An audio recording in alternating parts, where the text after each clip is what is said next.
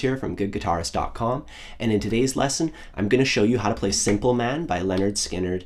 And I already have a lesson that shows you like a really simple, easy way to strum along with it, and another lesson that shows you the the riff that you can play that they start playing around one minute during the first chorus. In this lesson, I'm going to show you how to play that finger picking or flat picking part, depending on whether you want to use your fingers or a pick.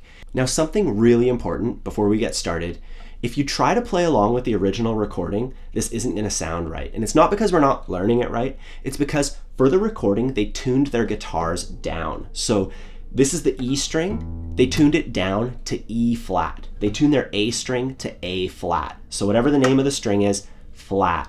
And that's called half step down tuning. And a lot of famous guitar players use it Jimi Hendrix, Stevie Ray Vaughan, a whole bunch. And it's really cool. It makes the strings sound lower and they like rattle a little bit. It adds a lot of, you know, a lot of cool darkness to it. But in this lesson, we're not going to bother doing that because it's a really big hassle tuning your guitar down to half step down tuning. I'm just going to do it in standard tuning. If later you want to play along with the original recording, just, you know, tune down to half step down tuning. Now the chords for this song, it's really simple. It's kind of a three chord song, like 3.5 chords. There's a C chord, a G chord, and then an A minor chord, and finally A minor 7 which is just adding like one finger to A minor. That's why I'm like, it's, you know, 3.5 chord shapes. And if you're not familiar with those chord shapes, I recommend checking out, I have a bunch of resources. There's my free ebook on rhythm guitar, goes over all the basic chord shapes. Those are all in there and it shows you how to practice them, some tips on strumming, you know, a bunch of useful stuff. And if you're just getting started and maybe having trouble getting a grasp on the basics, I also have a premium beginners course which goes through like everything. Just a step by step guide through all the basics. Anyways, before moving on any further, we're going to practice those chord shapes in order, just strumming them with downstrokes only, keeping it nice and simple. Starting off on C, one, two, three, four. Going to G, A minor. Then we add that finger for a minor 7. Again.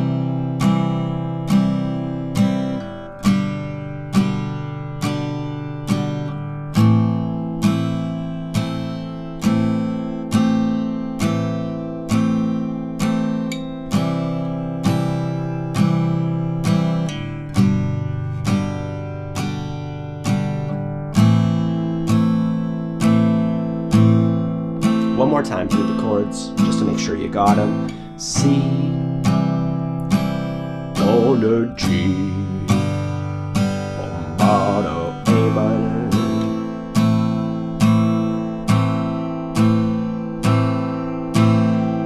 Cool, so once you have the chord shapes down, we can take a look at the picking. And it goes like this. I'll do it nice and slow.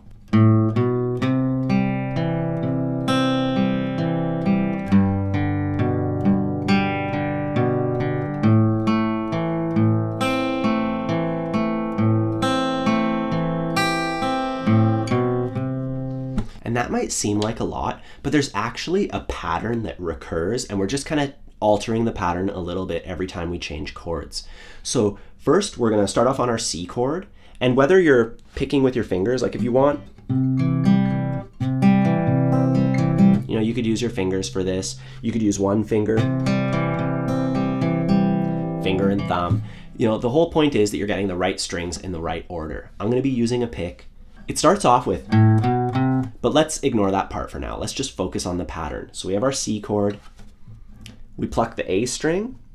Then we go to the G string. G, D, A. So that's the first half. Memorize that.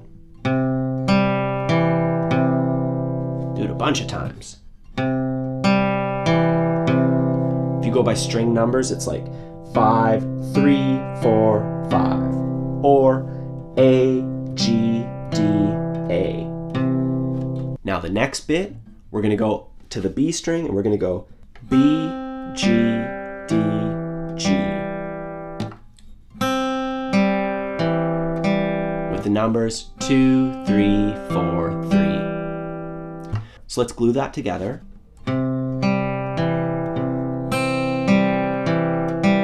It's quite the jump when you're putting it together. Gotta go all the way to the B string. And once you can do it one time successfully, try to loop it. You know, try to play it a whole bunch of times in a row. It doesn't matter how slow you go. If you have to go this slow, I recommend it. The thing that you want to do is make sure that you're going steadily. You don't want to be like, you know, you want to be da, da, da, da, da. That's your goal. If you can play it steadily, it doesn't matter what speed you're doing it at, you can always get gradually faster. The whole thing is you want it to be steady though. So take the time to just work that out. And once you have it, we can move on to the next chord shape, which is G. And for this, we don't even really have to press those higher strings. We're not going to be plucking them. And the pattern is exactly the same, except instead of starting here, we start here. So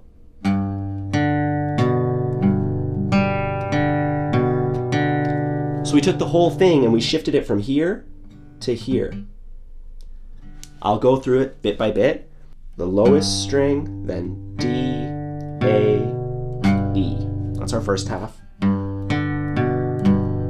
And make sure that you're arching these fingers enough. If you're not arching them enough, that string's not gonna work. So you really wanna arch these fingers, get a nice, you know, get nice wrist support, really lower your thumb a little bit if you need to. And then we go to the G string. And when you glue that together,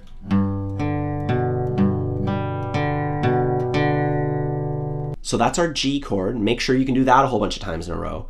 Then we go to our A minor chord, and the picking is exactly the same as on the C chord. You should already be able to do that. You're just holding a different chord shape. And at this point, I would practice going between each of those. So starting off at C, going to G, going to A minor. And if you're having trouble with that, it means you need to memorize each of those. You should be able to just tell yourself, I'm going to do it on G. get it right away. You know, and there might be a little pause when you're switching, but if you practice it enough, you'll get rid of that pause and be able to play steadily through all of those. Now, the last bit is A minor 7, and for this one, it's a little bit different. This is where we're breaking the pattern. So we're already on an A minor chord. The switch is easy, we just add our pinky. We're gonna pluck the A string, then we jump to the B string, B, G, D. So that's the first half. Then we pluck the highest string, the B string. So let's do all of that.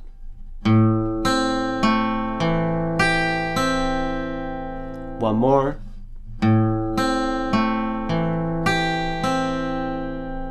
And then we can play that pickup to go back into our C chord.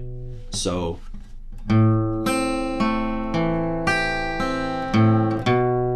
I'm using my middle finger to press that second fret. And I'm just going zero, two on the A string.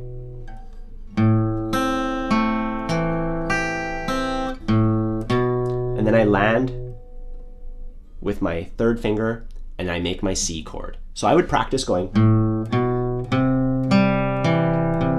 a whole bunch of times, just that little snippet.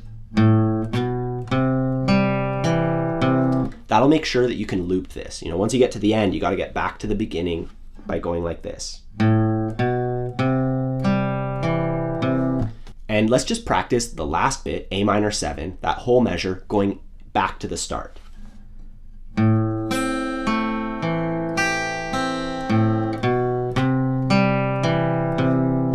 Just that bit. I would do that like a billion times until you have it down. And once you have that down, we can glue the whole thing together and this is what it goes like.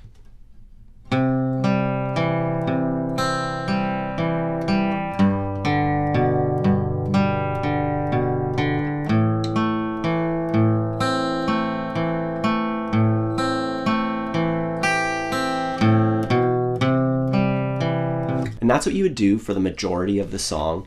During the chorus, if you want it to get like a bit more intense, you can just strum the chords. And I already have a video that shows how to strum them, but let's just do it again. Um, the strumming pattern I would use is just down, root, down, down, up. Really basic pattern. Root means to just do like a low strum, you know, to not get all the strings, but just the low ones. And you just do it with the chord progression, like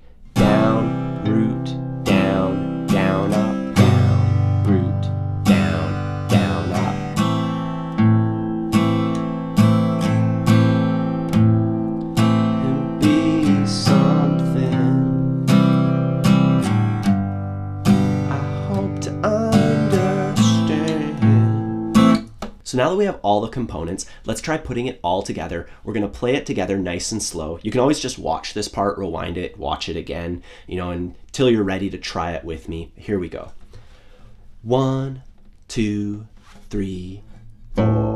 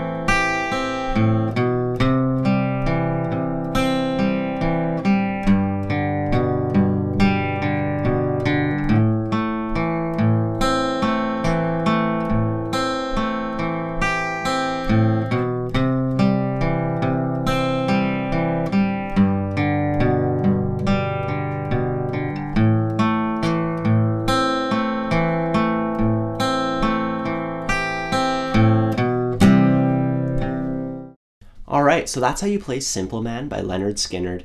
And if you want to do some lead guitar stuff, I also do one where I show you that intro riff.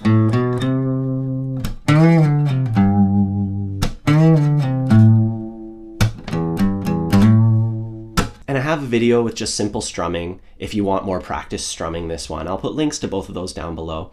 Either way, have a fun time practicing this one. If you need any extra help, don't forget to check out my free ebooks or my beginner course. Either way, have a fun time practicing and I'll see you soon.